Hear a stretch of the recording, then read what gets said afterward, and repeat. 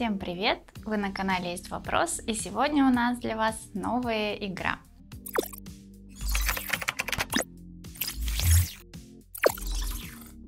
Обычно мы с вами создаем а, игры от и до, прям с самого начала и до самого конца сами. А сегодня мы используем для наших игр вот такую вот штучку, которую все наверняка знают.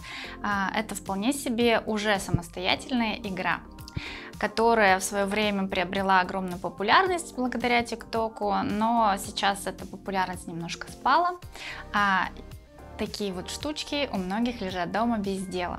Штучка эта называется попыт, и, кстати, кто знает, как переводится это слово, а, напишите нам в комментариях.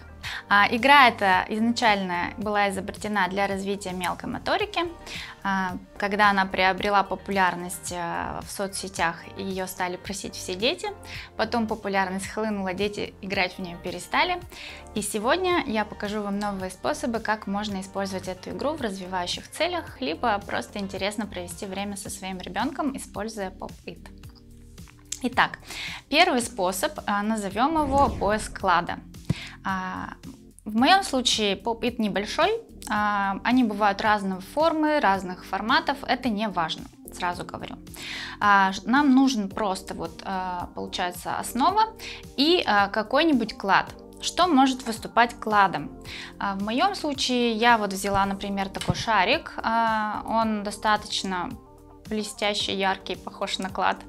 А, либо, если у вас нет а, подходящих шариков по диаметру, можно сделать его из пластилина и спрятать под любой из а, хлопушек вот этих. Если у вас есть магнитные конструкторы, в них обычно тоже для соединения используют такие шарики, они по диаметру отлично подойдут. Вот. Но если кто-то дает своим детям сладкое и спокойно к этому относится, можно, например, использовать конфетку и играть, а, кто найдет клад, тот ее и скушает. Это довольно весело. Я думаю, что если ребенок уже большой и не подавится конфетой, то вполне себе можно один раз сыграть и весело, и интересно, когда находишь конфетку. Сладко, скажем так. А, ну, мы будем использовать вот этот шарик, который я изначально показала.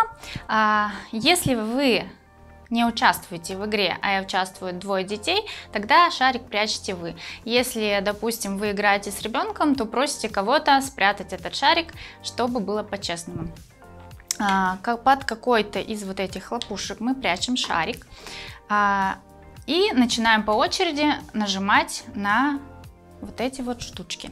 Мы их хлопаем. И получается по одному а, ходу делает каждый игрок. Ну, а, в моем случае я знаю, где шарик, играть мне не очень интересно.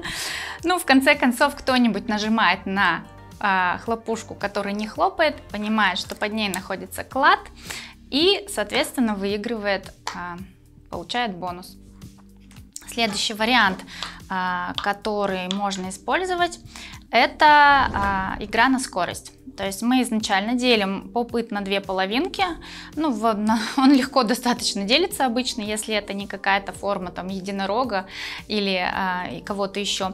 Поэтому если это какая-то форма, а, имеющая две половинки равные, то мы можем для этой игры его использовать. В моем случае эти две половинки есть. И, соответственно, вот, а, проходя по этой линии, да, если бы у меня был оппонент, мы бы с ним соревновались. То есть просто на скорость а, схлопнуть все штучки. Вот в моем случае штучки вредные, и они, получается, схлапываются не сразу. Даже если я на нее нажимаю, она может выскочить обратно. Вот. Э, в этом есть такой соревновательный момент, тут больше такого веселья, да, ловкости, скорости мы тренируем в этой игре.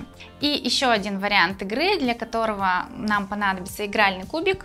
А, здесь смысл игры такой же соревновательный, но для этого мы будем использовать вот этот кубик и схлапывать мы будем по количеству выпавших на кубике точек.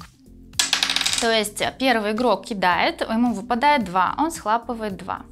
Следующий игрок кидает, допустим, ему, ему выпадает 5, он схлапывает 5 и так далее. То есть по очереди вы кидаете кубы, кубик, схлапываете и, соответственно, у кого, а, у последнего окажется количество точек меньше, чем выпало на кубике, тот и проиграл. То есть кто последний не сможет схлопнуть, тот и проиграл. Вот такая игра. Тут получается мы с вами помимо того, что а, играем, веселимся, тренируем ловкость пальцев и скорость, мы еще и, соответственно, используем математические понятия, учимся считать, а, соотносить да, изображение на кубике с тем, что нам нужно схлопнуть, какое количество. А, то есть это такая вот польза, да, получается еще и на развитие счета. А, ну и, соответственно, попыт это идеальная игрушка для того, чтобы изучать цвета потому что здесь цветов достаточно. Обычно эта игрушка яркая. А, бывают, конечно, попыты одного цвета, но если мы говорим вот про такой, про такой образец, то а, здесь мы можем идеально изучать цвета.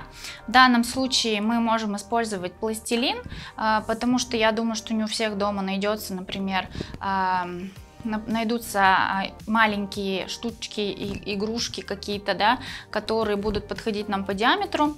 А, в моем случае я сделала это все из пластилина. Можно ребенка а, как раз занять именно игрой с пластилином и с попытом. Каким образом? А, игрой, которая будет помогать нам изучать основы цвета. Мы просим ребенка самого скатать вот такие шарики, которые подойдут по диаметру, чтобы вкладывать их в ячейки. Соответственно, мы переворачиваем попыт таким образом, чтобы вот появились у нас именно ячейки, да, и туда просим ребенка заполнить их а, вот такими вот шариками из пластилина.